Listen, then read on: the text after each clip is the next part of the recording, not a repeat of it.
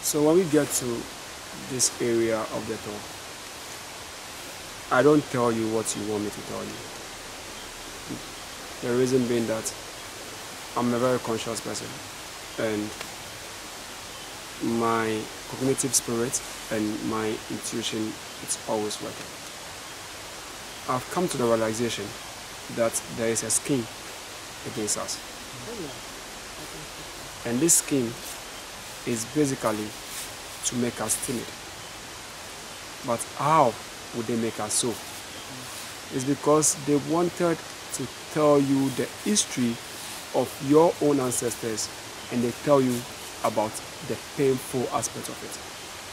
So that wherever we think of our ancestors, we only think of pains, but not their positive traits. Because with that positive trait, they are so scared that we would cast our minds on that.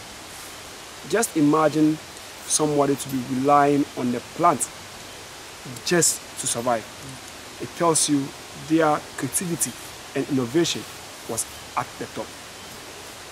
For somebody to endure almost over 300 miles walk, go through the dungeon and spend almost six months, go through the middle passage and work on the plantation and even survive, that person's endurance and determination is something that you cannot match.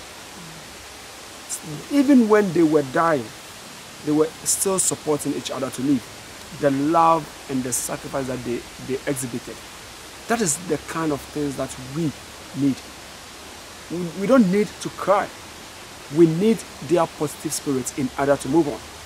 And when we have all these spirits in us, no one could even get closer. Even when we've lost it, not lost it completely, but because we are not concentrating on that, they still cannot defeat us. So imagine us concentrating on it. That is why we, where we come in here. All our focus is on that, on those streets. Now, you can go to the river, but when you want to go to the river, there's only two things that prevent you from going there.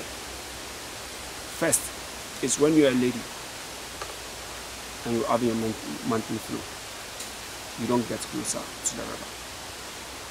But the most important one is the only way you get to the river is when you are ready to forgive the past and embrace the future. Because we don't want you to come here and go as the same version of yourself. You have to go as a better person. So when you forgive someone, sometimes it's very, very difficult, we know. But when I forgive you, it doesn't mean that you will never be punished for the crimes that you've committed on me. But it's just that I don't want to even have you in my thinking because Shakespeare said, when you dislike me, I'm still in your thinking because every day you think about me. So we try to forgive them and let them go and do their own, face their own destiny. But for us, we only wanted to have a peace of mind.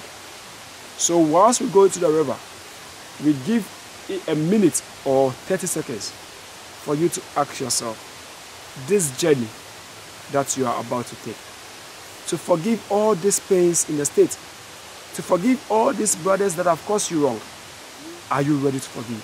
When your heart tells you you are, then we go to the river and you go through three important rituals. And when we're done with the rituals, then off we go.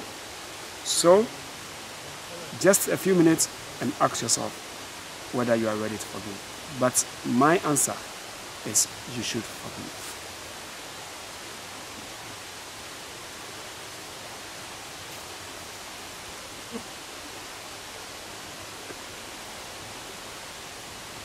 Do we have answers?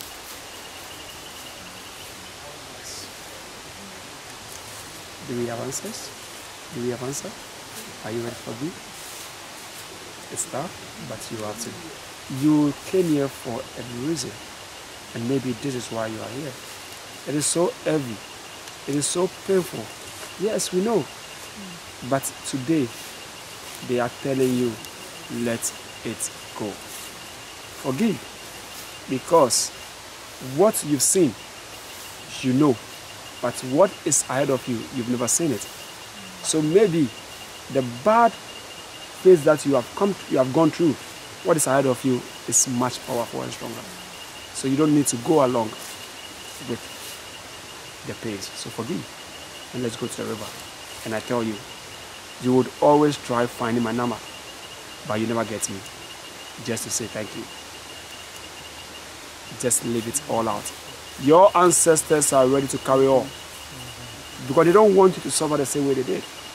So they are ready to just wash off all your pains, all your things. Just forgive, just give it to them and just have a free life to live. If we are ready, you follow me. If you are not ready, don't worry. There's always another day to be ready. So